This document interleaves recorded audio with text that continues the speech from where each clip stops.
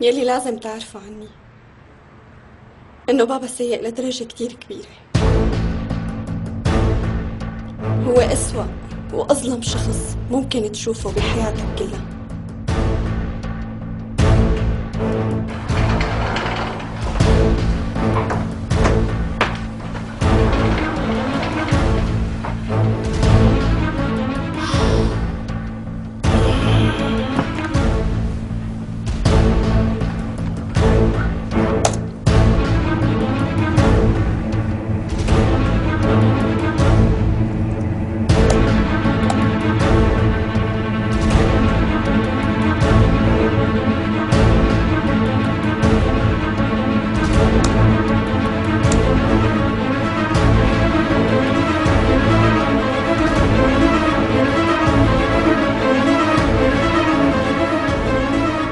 إمتى التقيتوا اخر مرة؟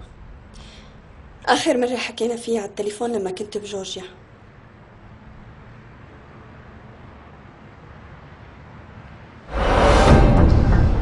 بترجاكي تقنعي أبوكي بلا ما نروح على اليابان. بترجاكي ما بقدر لميس. كل الأمور صارت جاهزة هلا. لك ليش ما عم تفهميني؟ أنا لازم روح على اسطنبول ضروري. ما بقي لي هنيك غير قبر أمي. لازم روح ولاقي مكانه لحتى ودع الوداع الأخير. ليش ما عم تقدري ظروفي؟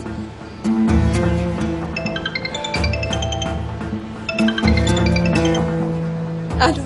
لميس غيري مكانك فورا. قلت لك لا بقى تتصل فيي أبدا عم تفهم؟ رجاء امشي ما بقى رح أحكي. المهم تغادري مكانك وبأسرع وقت. نفسي يلي عم قوله. رجاء يلا قومي بسرعة. مين؟ يلا قومي. قومي لأنه وسخ وصل لعنا. كتير حلو. بكره المساء ممكن ننهي لك القصة أنت لا تأكل هم ابدا بوجود الشباب تبعنا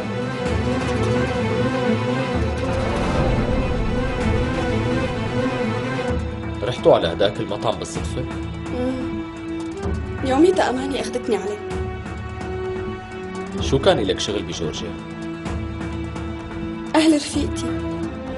كان صار لهم كم يوم واصلين لهونيك وأنا كان في عندي عطلة فرحنا لنشوفه. يعني هيك بتوقع؟ كيف؟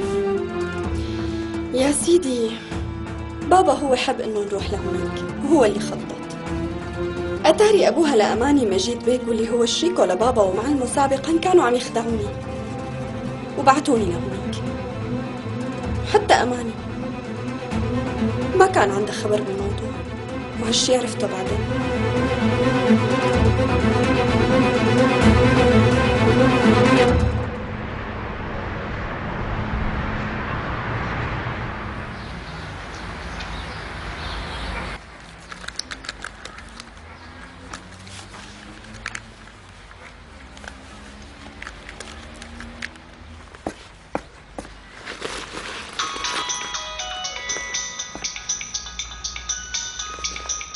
تليفونك.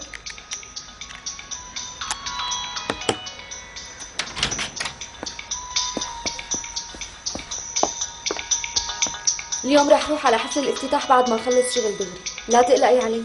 ماشي.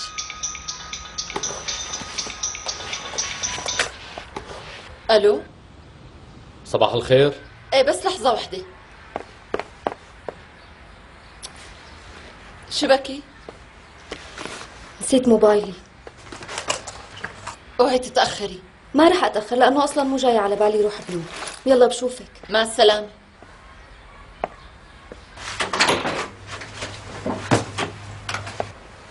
ألو؟ لا تأخذني أخرتك بس نطرت جميلة لتروح. بالعكس انت ما تواخذيني أه لأنه لهلأ ما اتصلت. مو مشكلة بنعرف إنك مشغول بهالكم يوم. ومعذور وشايفين إنه مخك بمكان تاني. استلمت رسائلك متأخر لأنه موبايلي كان مسكر. مو مشكلة عادي بس اليوم فينا نحكي؟ طبعا تفضلي. ما فينا على الهاتف. لازم نلتقي وش لوش ويا ريت يكون اليوم؟ الموضوع بيتعلق بجميلة ليش خير؟ شو في؟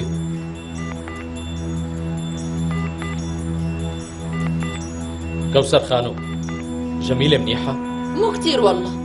بقصد من الناحية العاطفية عقلها مشوش وأعصابها تعبانة ومو مرتاحة بنوم المهم هلا لما بشوفك بنحكي بكل التفاصيل بس رجاء لا تخجلني مهند. خلينا نلتقي ضروري. ماشي. وين بدك نلتقى؟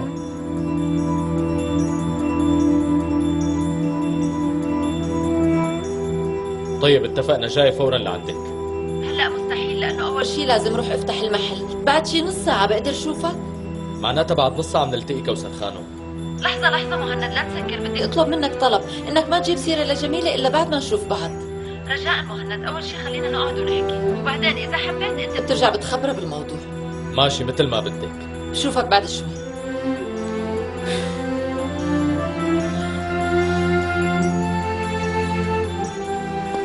جميلة صار معها شي مهند؟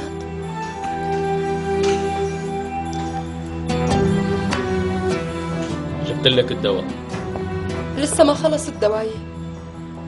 بكفيني شي يومين. حتى ولو خليه عندك احتياط ما بيأثر لأنه يمكن غيب شي يومين. لوين مهند؟ بترجاك قلي إذا فرحت رجع. كم مرة قلت لك لا بقى تجيبي اسمه على لسانك؟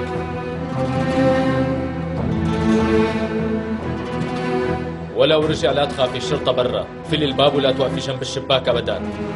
فهمتي؟ مو جوعان؟ لا أبوك صار عنده سلاح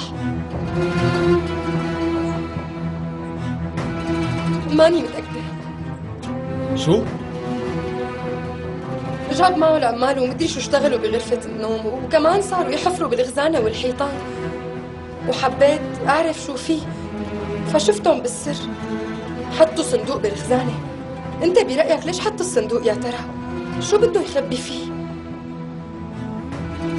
لا ما بظن بيجيب سلاح بعدين كنت عم تتجسسي عليهم؟ لا والله بس أنا توقعت هالشي لأنه هو قال لي ما رح أترك مهند لحاله وبدي انتقم من هداك الزلمة بإيدي يعني هيك شغلات بس كان معصب كتير وأنا بعتقد إنه هو فعلا جايب سلاح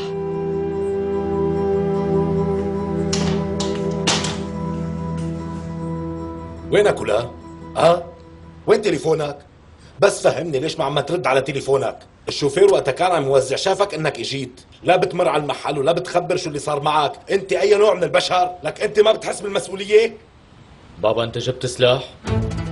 لك لك بس فهمني وين رحت وبطلت تعرف ترجع قل لي، فهمني وين كنت؟ سألتك رد علي عندك سلاح ولا لا؟ لا لشو هالسؤال؟ ليش هيك؟ ليش هيك؟ بابا ليش ما بدكم تتركوني لحالي؟ ليش ما بدكم تحلوا عني؟ ليش تتدخلوا بحياتي رح تخربط كل شيء يا بابا؟ لا تقعد تصرخ، قلت لك ما عندي لا سلاح ولا غيره ليك أنت لا تتدخل بشغلي لا تتدخل ابدا لأنه بتندم